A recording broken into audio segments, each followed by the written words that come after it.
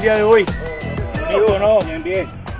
Este, hoy les quise predicar, como estaba diciendo el hermano este Rivera, de, de cómo ser usado uno del Señor, este, que no es fácil. ¿Sí me entienden? Una, una gente dice, nada, pues no es tan difícil. Es cierto, porque si tú dices eso, entonces no lo estás haciendo bien. Porque el día que lo hagas bien, parece que todo te sale mal. Y como dice, este campo, esto, fútbol, es nomás para diversión. Sí ganamos lo que sea, pero no hemos ganado nada, nomás nos divertimos lo que es. ¿Sí me entiendes? Como ahorita, esto me puso el Señor para mí enseñarles y decirles, como decir, este, digo pues, dicen en Gálatas, capítulo 5, 16 al 25.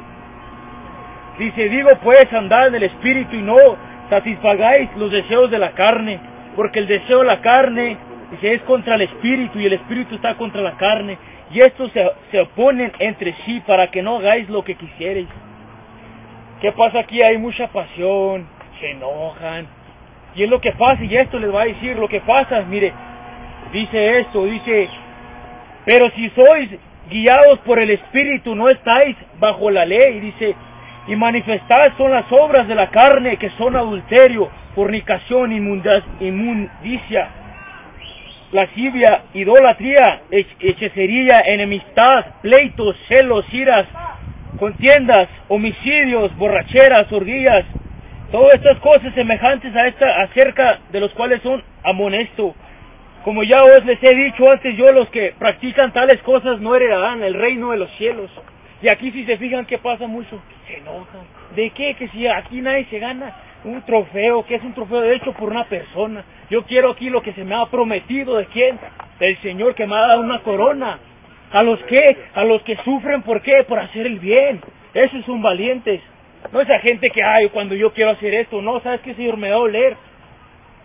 Que Él sea los discípulos, hey, a donde me lleves.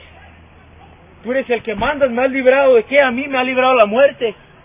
Tuve un accidente, esto no creas que son, esto es por el dolor que yo he pasado, un accidente, murió mi amigo enfrente de mí, y ahorita me están acusando así como si yo lo maqué. Ahorita estoy pasando yo por eso. Y que si me ha dolido, me ha dolido. Mucha gente no quiere pasar por el fuego, no quiere. Pero eso es lo que gente de donde tiene que entender uno que Dios quiere esa gente, porque esa gente no es normal la que quiere pasar por eso. Todos quieren pasársela bien, no, que sabes qué, bendito. Hijo, hay que hacer esto y esto y compañeros. Ahí no es, es a la gente allá que anda perdida. A la gente que anda borrachándose, que se anda muriendo ya, inyectándose, a eso es la gente, a eso hay, como se dice, ¿qué? What reward do I get? Si yo voy y le digo a un compañero que ya sé, sí hay algo, pero si vas y le hablas a alguien que no conoce, ahí va porque no todos hacen eso. Dios se fija en la gente que ¿qué? no es normal, porque al seguir a Dios no es normal. No puedes seguir a la misma gente. Si sigues vas a ¿qué? destruirte. Porque la gente, la persona, fue criada para seguir a Dios. No nomás los hizo para que hagan lo que ellos quisieran. Es como un niño, un niño que hace. ¿A quién se fija? ¿De quién busca cuando tiene hambre, cuando llora? ¿A dónde va a correr? A la mamá y al papá. Así tenemos que ser nosotros. Pero ¿qué pasa con nosotros? Pasa un problema. ¿Y qué pasó, Señor? ¿Qué pasó con eso? Yo te sigo, te busco y me está saliendo todo mal. No. La fe, los problemas, ahí es cuando estás haciéndolo bien, porque como he dicho, la fe es un escudo de guerra. ¿eh? Y el que no quiere guerra, el que no quiere violencia, el que no quiere seguir a Dios, el que no quiere sufrir para hacer el bien, ¿sabe qué? Aquí se va a quedar, así les digo ahorita. Porque en los últimos tiempos, créanme, muchos de aquí no lo van a hacer. ¿Cómo? Sí, lo he dicho y lo voy a decir otra vez, muchos no. So, cuando venga el Señor, yo, no, yo quiero ser el que me va a llevar, no el que me va a condenar. Por eso mucha gente aquí que necesita el temor, el temor de Dios. Dices, ¿qué es el temor? No es, no es ay, tener miedo. No, un ejemplo les voy a dar. Un padre le enseña a su hijo, mi hijo, pórtese bien, mire, yo he trabajado dos trabajos para que usted le siga y crezca y va al colegio y todo, y de repente se pelea, hay un pleito ahí, y le dijimos, ¿sabes qué le vamos a decir a tu padre? Lo que acabas de decir, no, no le digas a mi padre, le va a quebrar el corazón. Así es, uno no quiere defraudar a Dios. Yo no lo quiero defraudar, aunque vamos a caer, pero gracias que a su gracia. Es la gracia de Dios que nos ha dado la oportunidad. Que a mí gente me dice, hey, mando, hago una crucecita o algo. Le dije yo, no, no, no necesito. yo lo hago por mis acciones, voy y enseño, voy y hablo. A mí no ha habido un día que yo no le predique a nadie, que no haya llorado, porque si me ha dolido, me ha dolido desde adentro. Porque rato van a ver qué difícil es seguir a Dios, que no es fácil, que cuesta. Dice más, el fruto del Espíritu. Dice es amor, gozo, paz, paciencia, benignidad, bondad, fe, macedumbre, templadas contra tales cosas, no hay ley. Dice, pero los que son de Cristo han crucificado la carne con sus pasiones y deseos. Mucha gente que se fija en esto, ah, va a haber un futuro en esto, en esto no hay futuro. Dices, no, pues yo veo la gente allá. ¿En qué te fijas en una persona? Estás quitando tus ojos de allá, de tu salvación. Mucha gente toda sigue que tomando la leche, como decía Pablo, todas se enfocan en las cosas chiquitas, que mi, mi, hermanito y que esto y lo otro. Dijo, hay que darle, aunque duela, ¿eh? porque esos son los que la van a hacer en los últimos tiempos, que va a costar todo, toda lágrimas, toda oración, una simple oración, oh Señor, gracias, no pongas a llorar, Padre, úsame, Padre, úsame aunque me duela y lo vuelvo a repetir aunque me duela, porque en eso se fijan, porque no todos buscan eso, el dolor. ¿Cuánto tarda?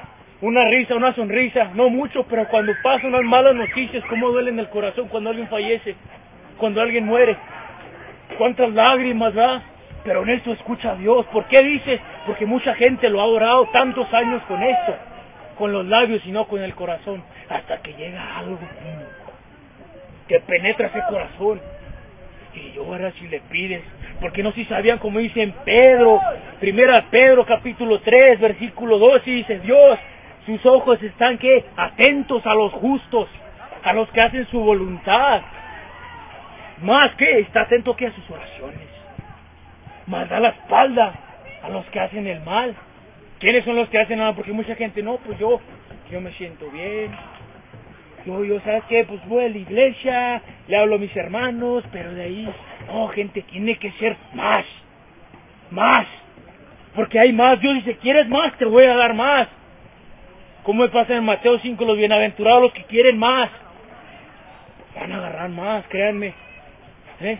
Y van a ver quién es el rey de reyes y quién es el señor de señores, porque ustedes no fueron criados por un accidente.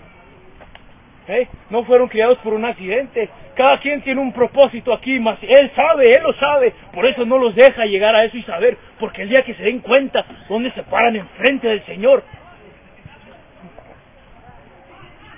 Nadie nos va a parar. Por eso que dice, todo puedo Cristo que me fortalece. Somos más que conquistadores. De ahí viene eso. Por los que los que viven. ¿Por qué? Por hacer el bien.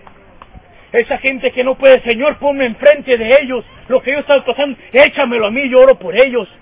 Esa gente es la que busca a Dios. Que decía Pablo, ¿cuánta gente de su, los discípulos sufrieron por hacer que la voluntad de mi Padre? Y aquí gente que es fútbol, que mi hijo va a perder y que esto, fíjense, los niños pueden perder 15, 50, 0. Y lo primero que dicen, Daddy, ¿viste cómo jugué? Ando cansado ya, se divierte, nomás es eso. Pero el diablo que hace, llegar a una pasión ahí. Ah, mi hijo, aquí va a haber un futuro, vas a estar acá y esto no. ¿Cuánto cuesta tu alma? ¿Qué dice? ¿Eh? Conquistar todo, que quieras todo, de repente, ¿eh? ¿el alma dónde va? Mucha gente no sabe ese temor, no sabe, no sabe lo que se viene. A mí me ha enseñado el Señor en visiones, en sueños, le he llorado y me ha enseñado. La gente va a tener tanto miedo que donde sea que estés allá afuera, tú, tú estás aquí, tu mamá en Chicago, vas a ir a moverte allá, a pegarte por el miedo que va a pasar. ¿Qué está pasando allá? En Arabia, allá no me acuerdo dónde, en Irak, decapacitando niños, cabezas. ¿Por qué? Y lo único que tienen que hacer es negar. ¿A quién? Y dices tú, no, pues yo lo hago, a ver si es cierto. Llega uno con un cuchillo, una pistola enfrente, este, a ver si no lo hacen y ya, ah, mejor no. Esa gente tiene una pasión. Ustedes mucho no lo han entendido. Aunque estén en la iglesia ahí, que esto y lo otro, hermano, ahí, ese, como quiero decir, ese cristianismo Barney, dices tú, esa Barney, los dinosaurios ahí en Jurassic, se lo comen y lo deshacen.